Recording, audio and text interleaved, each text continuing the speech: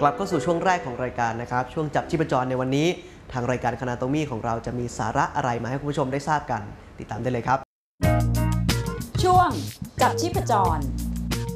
สนับสนุนโดย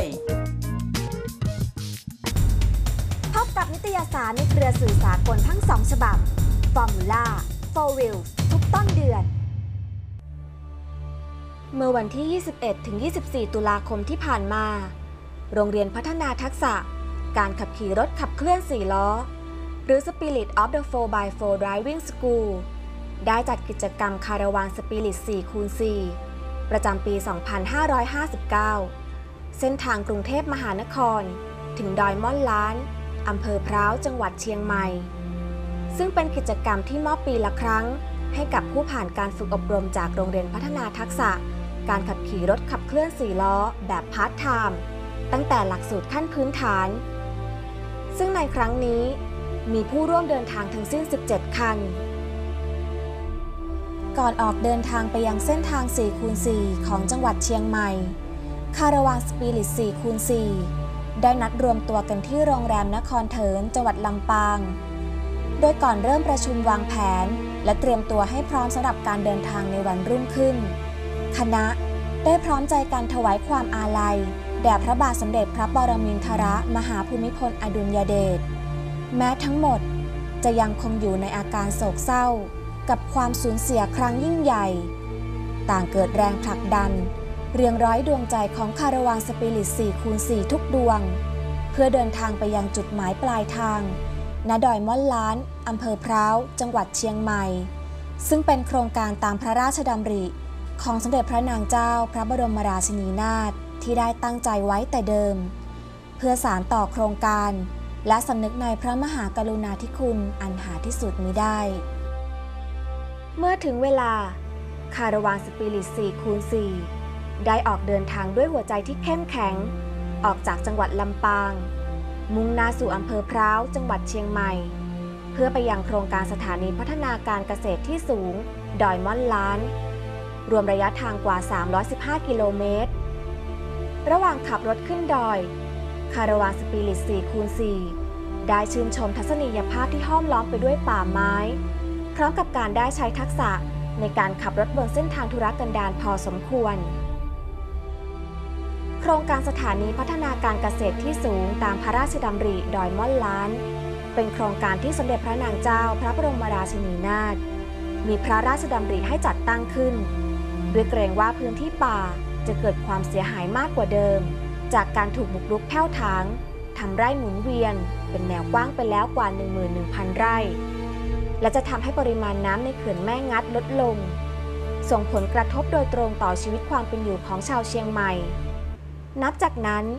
โครงการสถานีพัฒนาการเกษตรที่สูงตามพระราชดำริดอยม่อนล้านจึงเกิดขึ้น และกลับคืนสู่ความอุดมสมบูรณ์อีกครั้งมาจนถึงปัจจุบัน หลังจากคาราวานสปิริต4คูณ4ได้รับฟังการบรรยายประวัติความเป็นมาของโครงการ และดื่มด่ำกับบรรยากาศหมอกจางๆ บนดอยม่อนล้านแล้ว จึงพักค้างแรมกลางเต็นท์กันที่นี่สองคืน ในช่วงเช้าของวันรุ่งขึ้น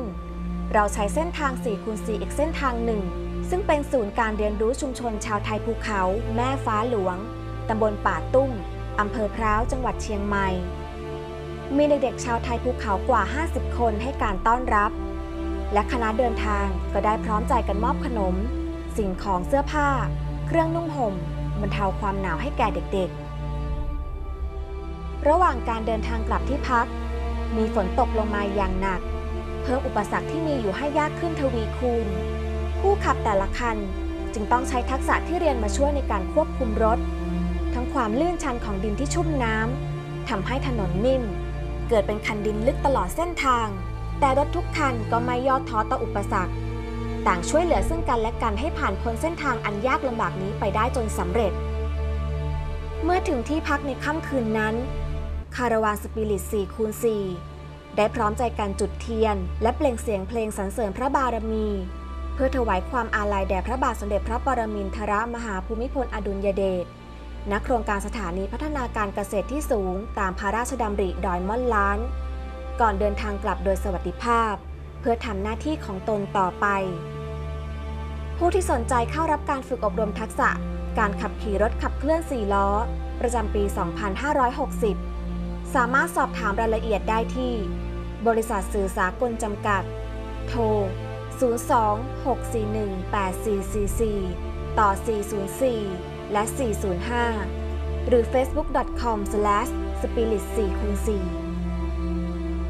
สัปดาห์หน้านะครับ ช่วงจับชีพจรของเราจะนำเสนอข้อมูลเกี่ยวกับเรื่องอะไรอีก อย่าลืมติดตามรายการคณาโตมีตั้งแต่ต้นรายการนะครับ มาต่อกันดีกว่านะครับ กับช่วงเปิดอก วันนี้ครับจูนก็ได้มีบทสัมภาษณ์จากผู้บริหารในสายงานยานยนต์มาฝากเรากันอีกเช่นเคย ไปติดตามบทสัมภาษณ์กันเลยครับ ช่วงเปิดอก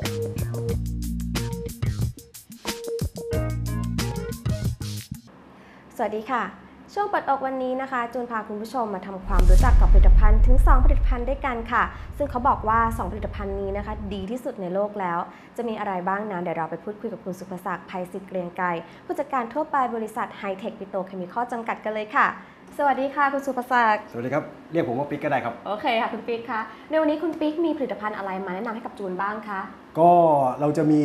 สินค้านะครับที่เกี่ยวกับความเป็นที่สุดของโลกนะครับอ่าค่ะหลักๆ ผมขอเริ่มด้วยตัวนี้ก่อนดีกว่านะฮะตัวนี้เรียกว่าสารเคลือบ Tufoil ค่ะนะครับมันได้ความเป็นที่สุดของโลกยังไงค่ะอันนี้เนี่ยมี Guinness Book รับรองเลยนะครับว่าสารเคลือบตัวเนี้ครับ เป็นสารเคลือบที่มีประสิทธิภาพมากที่สุดในโลก อนุภาคของสาร Tufoil ตัวเนี้นะครับ มันจะมีความเป็นประจุไฟฟ้านะครับค่ะหรือพูดง่ายๆ ความเป็นประจุไฟฟ้าของมันเนี่ยทำหน้าที่เสมือนแม่เหล็กนะฮะ อันนี้คือลูกสูบนะครับที่อยู่ในรถยนต์นะครับ ทุกครั้งที่มีการจุดระเบิดเนี่ยลูกสูบตัวนี้ก็จะเคลื่อนที่ให้กำลังกับเครื่องยนต์นะครับ ไอสารตัวนี้มันมีอนุภาคเป็นประจุไฟฟ้า มันจะทำหน้าที่เหมือนตัวแม่เหล็กอืมนะฮะ ไปค่ะเคลือบอยู่ที่ตัวแหวนลูกสูบเนี่ยครับ ก็คือ จุดเริ่มต้นของความร้อนของรถยนต์ทั้งคันเนี่ยนะครับมาจากตัวนี้เลยนะฮะก็คือจุดที่เสียดสีค่ะตัวนี้เนี่ยจะเข้าไปเคลือบระหว่างลูกสูบแล้วก็ผนังลูกสูบนะครับทำให้ลดการเสียดสี พอลดการเสียดสีเนี่ยก็จะตอบโจทย์เกือบทุก ๆ อย่างเลยเกี่ยวกับความร้อนก็คือเมื่อความร้อนมันไม่เกิด เพราะว่ามันลื่นค่ะความร้อนก็จะลดลงนะครับก็จะช่วยในเรื่องของการประหยัดน้ำมันนะครับอืมแล้วก็ยังช่วยเรื่องของลดการสึกหรอยืดค่ะอายุการใช้งานให้กับเครื่องยนต์อ๋อครับ แล้วอย่างนี้เวลาเราจะใช้สารเคลือบทัฟออยล์นี่ต้องใช้เวลาไหนล่ะคะ ก็เราแนะนำนะครับให้ใช้ตัวสารเคลือบ Tufoil ทุกครั้งที่เปลี่ยนถ่ายน้ำมันเครื่องนะครับอืมก็คือเติมตัวนี้เข้าไปนะครับค่ะปริมาณก็ 1 ขวดอย่างนี้นะครับ8ออนซ์ก็ต่อปริมาณน้ำมันเครื่อง1ครั้งก็คือ 5-7 ลิตรค่ะนะครับหรือถ้ายิ่งน้ำมันน้อยกว่านั้นสำหรับรถอีโคคาร์ก็จะยิ่งเห็นผลเลยอืมนะครับเพราะว่าสารตัวนี้เนี่ยจะเข้าไปช่วยในเรื่องของความลื่นโดยเฉพาะ นะครับ เครื่องนี่ก็จะนิ่งขึ้นนิ่มขึ้นนะครับ แล้วก็อัตราเร่งก็ดีขึ้นครับผมทีนี้เหมาะกับพวกที่เป็นแบบรถแข่งไหมคะแบบเครื่องแรงขึ้นอะไรอย่างนี้ช่วยได้ไหมคะ จริง ๆ ผมขอแนะนำอย่างนี้ว่ามันเหมาะกับเครื่องยนต์ทุก ๆ เครื่องอืมในโลกนี้เลยนะครับ เพราะค่ะว่าเราต้องยอมรับอย่างหนึ่งว่ากำลังของเครื่องยนต์เนี่ยมันมาจากแรงระเบิด ซึ่งเกิดจากเปลวไฟค่ะนะฮะการที่เราเอาสารเคลือบตัวเนี้ยทำให้ลูกสูบเนี่ยมันเคลื่อนที่ได้อย่างอิสระ ทำให้มันลื่นขึ้นเนี่ยมันก็เลยทำให้ลดความร้อน เครื่องก็จะไม่สึกหรอค่ะแล้วก็ยืดอายุทั้งรถแข่งรถบ้าน รถเก่ารถใหม่ เครื่องยนต์เบนซินดีเซลได้ทุกรุ่นเลยครับผมค่ะ นอกจากสารเคลือบทับออยล์ที่ดีที่สุดในโลกที่แบบกินเนสบุ๊กการันตีแล้วเนี่ยค่ะครับก็ยังมีอีกอย่างหนึงก็คือน้ำมันเครื่องยี่ห้ออะไรคะอ๋อ อันนั้นเป็นน้ำมันเครื่องนะครับ เป็นน้ำมันเครื่องที่ชื่อว่ายี่ห้อ Penrite อันนี้ก็ดีที่สุดเหมือนกัน อันนี้เนี่ย คือเป็นน้ำมันกลุ่มที่ดีที่สุดค่ะ นะครับ ตัว Penrite ตัวนี้นะครับ ก็คือเป็นตัวท็อปเลยค่ะ รถแข่งส่วนใหญ่นะครับ ก็เลือกใช้ตัวนี้นะครับที่เป็นน้ำมันสังเคราะห์ที่เป็น PAO กับเอสเตอร์นะครับหรือพูดง่ายๆคือเปากับเอสเตอร์เนี่ยคือน้ำมันกลุ่ม 4 กับกลุ่ม5อ๋อนะครับ กลุ่ม 4 เนี่ยได้ในข้อดีในเรื่องของความอึดทนทาน ส่วนกลุ่ม 5 เนี่ยได้เรื่องของความลื่นและความเป็นประจุไฟฟ้านะครับ แต่ว่าลำพังตัวเดียวเดียวเดียวๆเนี่ย ความสมบูรณ์มันอาจจะยังไม่ครบถ้วนค่ะนะครับเพนไลท์เนี่ยเขาเลยเอาตัวน้ำมันกลุ่ม 4 และกลุ่ม5นะครับข้อดีของแต่ละอย่างเนี่ยมารวมกันผสมผสานเพื่อให้ได้น้ำมันที่ดีที่สุดในโลก ยอดขายอันดับหนึ่งของประเทศออสเตรเลียค่ะนะครับแล้วเหมาะกับรถประเภทไหนบ้างล่ะคะ ก็ถ้าสำหรับตัวนี้นะครับก็เหมาะสำหรับพวกรถแข่งนะครับ พวกรถค่ะที่ต้องการใช้งานประสิทธิภาพสูงอืมๆนะครับหรือว่าถ้าเป็นรถบ้านก็ ต้องการการปกป้องที่เรียกว่าเป็นการปกป้องที่ดีที่สุดของโลกณปัจจุบันนี้ก็สามารถเข้ามาดูได้ที่เว็บไซต์ของเรานะครับ www.hightech.co.th นะครับค่ะอย่างที่ขึ้นด้านล่างนี้นะฮะแล้วก็สามารถเข้าไปเลือกชมได้ที่เว็บไซต์ต่างประเทศของค่ะตัวสินค้านั้นๆนะครับทั้งในเรื่องของตัวทับออยแล้วก็ตัวเพนไลท์เองนะครับก็สามารถเสิร์ชหาตัวผลิตภัณฑ์นั้นได้เลยครับผม ค่ะ สุดท้ายนี้นะคะ อยากให้คุณปิ๊กช่วยฝากอะไรถึงคุณผู้ชมทางบ้านหน่อยค่ะ ครับก็อยากฝากในเรื่องของตัวผลิตภัณฑ์แล้วกันนะครับ ก็คือเดี๋ยวเนี้ยเราต้องยอมรับเลยว่าในตลาดเนี่ยนะครับมีผลิตภัณฑ์มากมายหลายยี่ห้อเลย ที่อวดอ้างนู่นอ้างนี่นะครับ ว่าสามารถทำอย่างนู้นได้อย่างนี้ได้ แต่จริงๆแล้วไม่มีสถาบันอะไรของโลกที่รับรองนะครับค่ะตัวนี้ผมก็เลยอยากจะเสนอ เพราะว่าตัวทับออยตัวเนี้ครับมันมีกินเนสบุ๊กลงรับรองนะครับ ก็ค่ะ มันก็เป็นอะไรที่รับประกันให้กับผู้ใช้นะครับว่าสินค้าตัวเนี้ยมีหลักมีแหล่งนะครับแล้วก็อีกเรื่องหนึ่งก็เป็นเรื่องของน้ำมันเครื่องนะครับที่มีหลายยี่ห้อนะครับที่อยู่ในท้องตลาดที่ไม่ได้ขึ้นทะเบียนนะครับกับกรมธุรกิจพลังงานนะครับซึ่งตรงนี้เนี่ยผมก็อยากฝากให้ดูนิดนึง เพราะว่าสินค้าของเราทุกตัวนะครับเราได้ทำการขอความเห็นชอบจากกรมธุรกิจพลังงานนะครับอันนี้เป็นกฎหมาย เพราะว่ากรมธุรกิจพลังงานเนี่ยเขาจะมาช่วยดูในเรื่องของความถูกต้องนะครับทั้งน้ำมันที่ผลิตในประเทศเอง หรือน้ำมันที่นำเข้ามาเขาก็จะมาช่วยตรวจสอบนะครับบางทีผู้ใช้ผู้บริโภคเนี่ยก็ควรจะดูฉลากตัวนี้นะครับ ว่าได้